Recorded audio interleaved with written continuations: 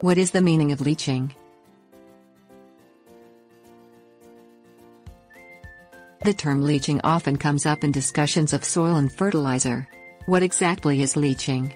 In soil, leaching is a natural process that can be helpful or harmful, depending on the circumstances. Definition of leaching Leaching refers to the process by which chemicals, nutrients and other soluble matter in soil are dissolved by excess water and washed away. Leaching in soil Leaching of soil occurs naturally and is part of the process of soil formation. When soil becomes saturated with rainwater, water travels downward, into groundwater or into springs and eventually rivers, lakes and streams. In the process, substances such as iron, aluminum, calcium and organic matter are carried deep into the soil or washed away altogether. Leaching potted plants Leaching is a beneficial technique for washing excess salts and fertilizers from the soil of potted plants. When you apply fertilizer repeatedly to potted plants, salts from the fertilizer build up in the soil and can burn plant roots. You can sometimes see a ring of salt on the outside of clay pots or around the top of the soil. The College of Agriculture Life Sciences at the University of Arizona recommends leaching potted plants every 4 to 6 months to prevent salts from accumulating.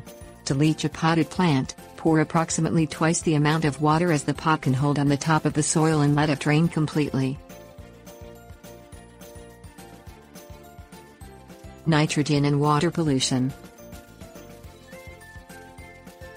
Leaching becomes a problem when pesticides and fertilizers from the soil are leached into water supplies.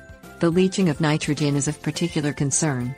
Nitrogen, an important plant nutrient, occurs naturally in soil as a result of decomposing plant and animal matter and as a result of soil amendments such as animal manure and nitrogen fertilizers. During times of heavy rainfall, nitrogen is converted into nitrate, a mobile form of nitrogen which moves easily with the flow of water. When nitrate is leached into groundwater and streams, it becomes potentially harmful to pregnant animals and their young. When it enters private wells and water supplies, Nitrate poses a threat to humans especially babies less than one year of age. According to the University of Missouri Extension, nitrate poisoning in infants causes internal suffocation or blue baby syndrome. Organic farming and leaching Organic farming methods can be helpful in reducing the amount of pesticides and nitrogen leached into water supplies. The USDA National Institute of Food and Agriculture reports that, in a study by Washington State University, nitrogen leaching was 4 to 5 times greater in trees fertilized using synthetic fertilizers than those fertilized using organic methods.